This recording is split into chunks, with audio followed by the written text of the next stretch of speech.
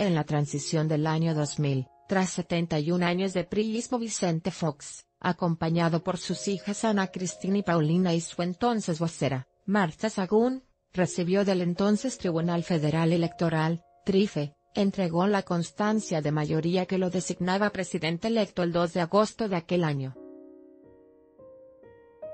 Política, ¿por qué se refieren a AMLO como el virtual presidente de México? Fox se reunió con Ernesto Cedillo para acordar los mecanismos de colaboración para el cambio de poder, al día siguiente de la elección. Esto era un hecho inédito en México.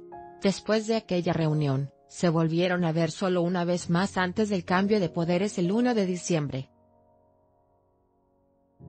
Felipe Calderón Hinojosa en medio de la tensión postelectoral de 2006. El 6 de septiembre Felipe Calderón Hinojosa acudió al Tribunal Electoral y en una ceremonia breve, de apenas 17 minutos, el panista recibió la constancia de mayoría. Calderón Hinojosa dirigió su discurso a exaltar su compromiso con la democracia y con la ley, por la que dijo siente un profundo aprecio.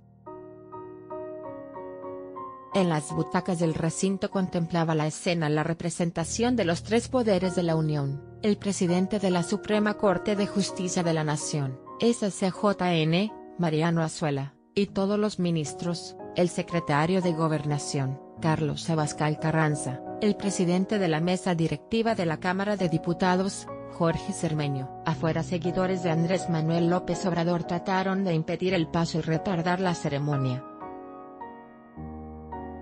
Enrique Peña Nieto El Tribunal Electoral del Poder Judicial de la Federación, TEF, validó la elección y entregó la constancia de mayoría a Enrique Peña Nieto el 31 de agosto de 2012 acompañado de su esposa Angélica Rivera, el entonces presidente nacional del PRI, Pedro Joaquín Colduel, y el que fue su coordinador de la campaña, Luis Videgaray. En su primer discurso como presidente electo, Peña subrayó que México tendrá una presidencia moderna, responsable, abierta a la crítica, dispuesta a escuchar y a tomar en cuenta a todos los mexicanos. En la ceremonia de poco más de 30 minutos, Peña Nieto reconoció la disposición del presidente Calderón para asegurar que el cambio sea ordenado transparente y con estabilidad para el país. Política, ¿por qué se refieren a AMLO como el virtual presidente de México?